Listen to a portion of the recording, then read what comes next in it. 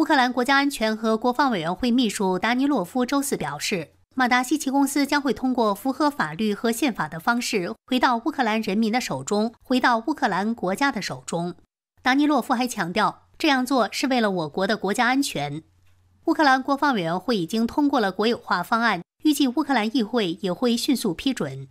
中国的北京天骄航空公司握有马达西奇公司的大部分股权。为了获取这家公司的飞机发动机制造技术以及知识产权，北京天骄数次向乌克兰提出收购马达西奇的申请，但没有获得批准。在乌克兰政府做出国有化决定前，美国已宣布制裁北京天骄，理由是它与中共军方关系密切。美国商务部于一月十四号表示，北京天骄在乌克兰进行掠夺性的投资和技术收购，构成了不可接受的风险。他有可能将这些技术用于军事用途，特别是飞机发动机、卫星与巡航导弹的制造。今年一月底，乌克兰总统泽伦斯基签署命令，对北京天骄等四家中国公司及三名中国公民施加制裁，包括冻结资产、限制贸易、限制入境、限制撤资与增资等。经过多次收购失败，北京天骄扬言要进行报复。达尼洛夫表示，乌克兰不会屈服于法律威胁。新唐人记者刘海英综合报道。